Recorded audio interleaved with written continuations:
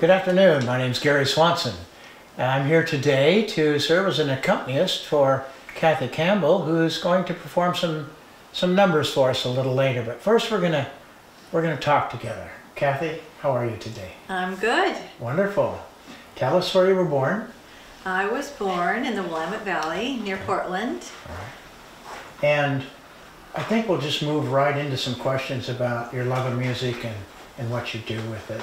So, as a young child or at whatever point it happened, what drew you to music? Uh, my parents always listened to it. My dad played piano and just had fun with it. My mom just always listened to classical. And I just loved it. My aunt was a really great um, music teacher. And so I went and visited her and I thought, that sounds like a great thing to do. I mean, you can have fun with kids and you can sing and, and you can just uh, spread joy. And I just thought that's, what a better career. So, how old were you when you really started kind of working with music? Um, well, you know, probably as early as fourth grade when you everybody goes to play the violin, right? And uh, my teachers quickly moved me to viola, and I couldn't read the clefs, so I I quit that. And I went and I thought, well, I'll do band. And so I'm on the bus and I'm looking at all the different instruments, and of course I picked the smallest one because I figured, you know, that would be the most convenient to carry in my uh, my backpack or whatever. And so I picked the flute. And I just studied that all the way through school and all the way through the University of Oregon, where I got my degree in music. You also play guitar, Yes. and we're going to hear that a little later. Yeah. You uh, play piano. Poorly, but I do like to play the piano. I like to play chords on the piano, kind of like guitar playing on the piano. Tell us the type of music you really enjoy. Um, I really enjoy folk music. I really enjoy the stories.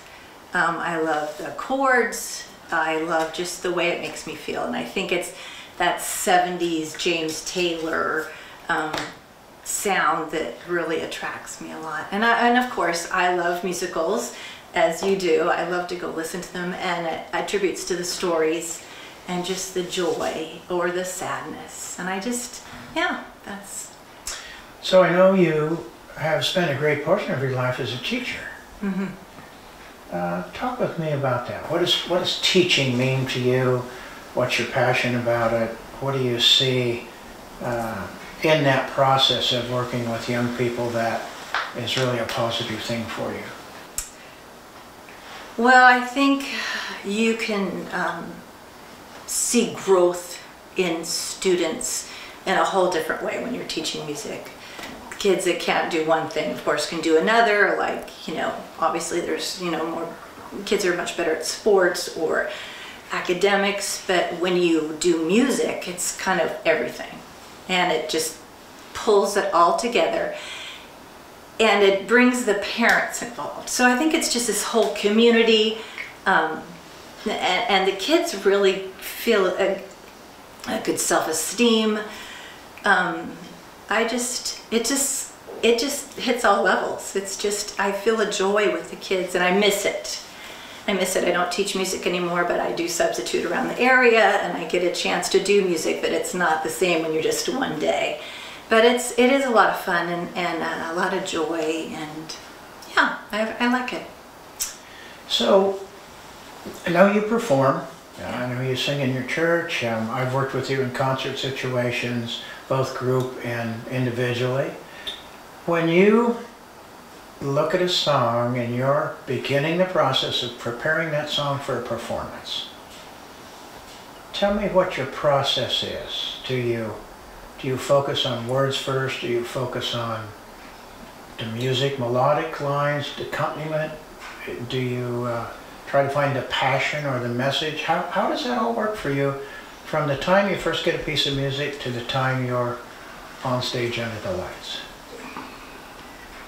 Um that's a really good question and i think every song is different. And i think some songs i just immediately hear the chords and i love that song. And sometimes i hear the words and i think wow that is a great message. Um, but i guess if i were going to perform the process the process is probably the emotion first, how it makes me feel. And then after I know how it makes me feel, then I can go to the words and, and learn them and interpret the words on how I feel and to try and relay that message on to a listener and hopefully they hear that message. Well, shall we make some music? Let's. This song is called The Secret of Life by James Taylor.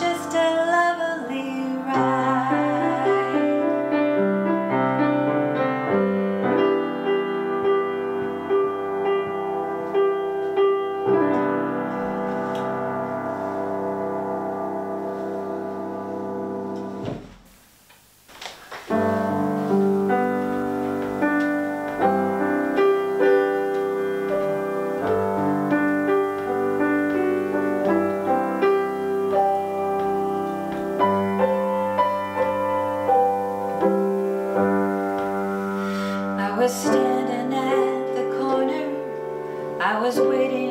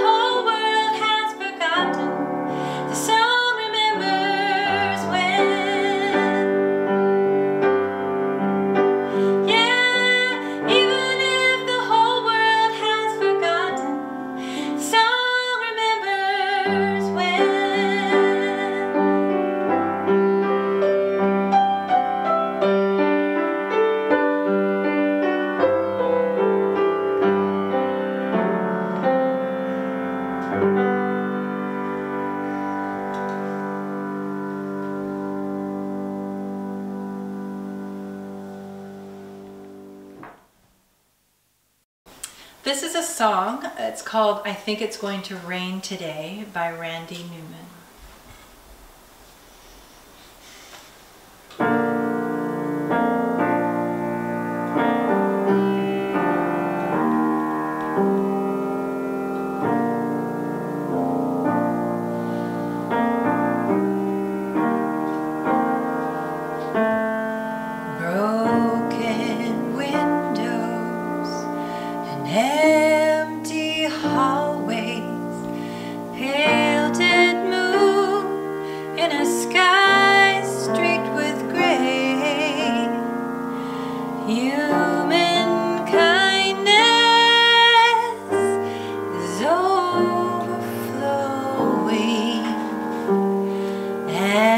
I think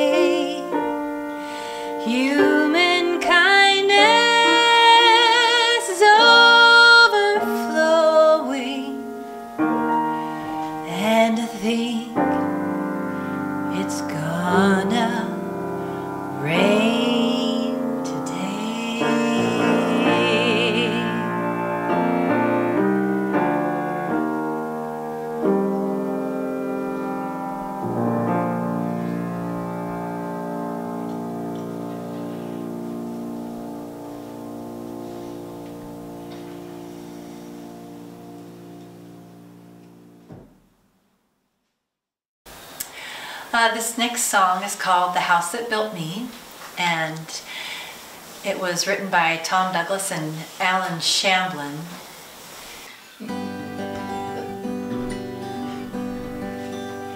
I know they say can't go home again. I just had to come back one last time. Ma'am, I know you don't know me from Adam. These handprints on the front steps are mine. Up those stairs in that little back bedroom is where I did my homework and I learned to play guitar. Now I bet you didn't know under that live oak my favorite dog is buried in the yard. I thought if I could touch this or feel it, this brokenness inside me might start healing. Out here it's like I'm someone else. I thought that maybe I could find myself. If I could just come in, I swear I'll leave. Won't take nothing but a memory of the house that built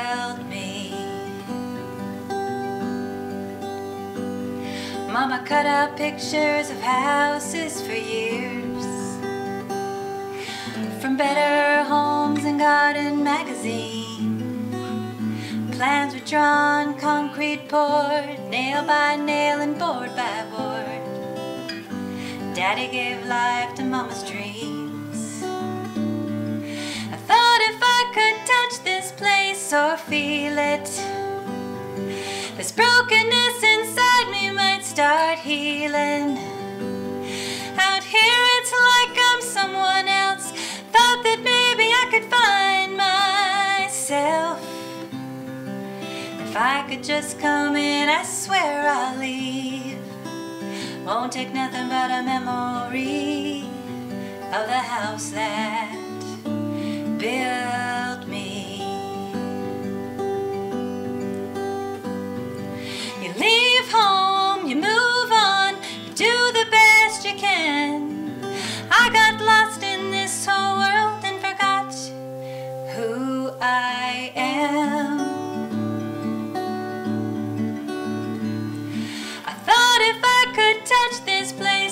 feel it, this brokenness inside me might start healing.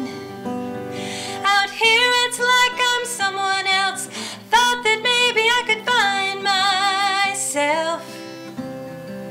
If I could just come in, I swear I'll leave. Won't take nothing but a memory of the house that built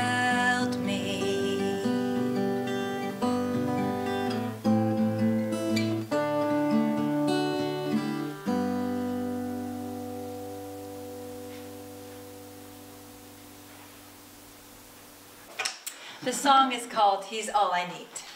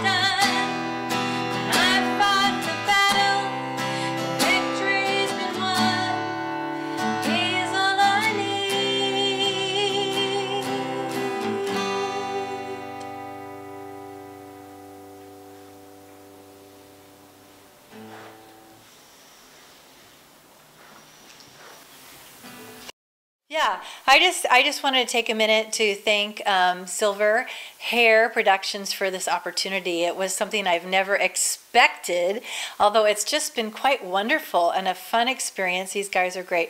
So I want to thank Randy Blom and I want to thank Donn Roth.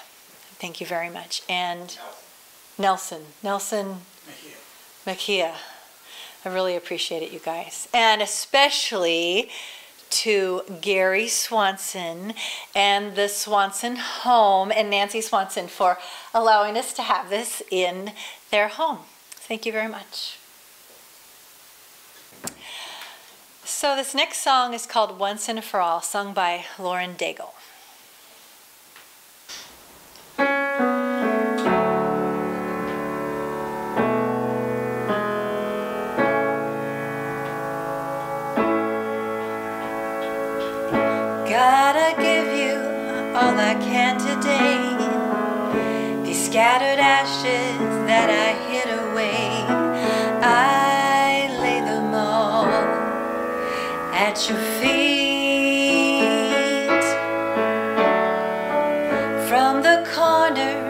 Of my deepest shame,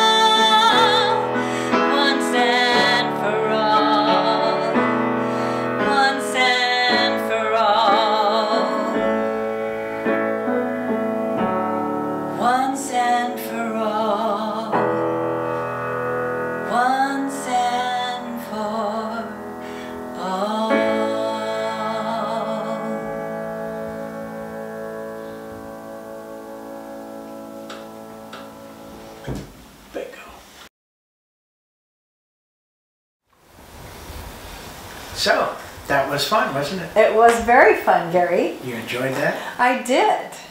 So, while you were doing your numbers, was there a point somewhere in a certain song, the way it was playing out for you, emotionally, you really, you really felt strongly about what you were experiencing?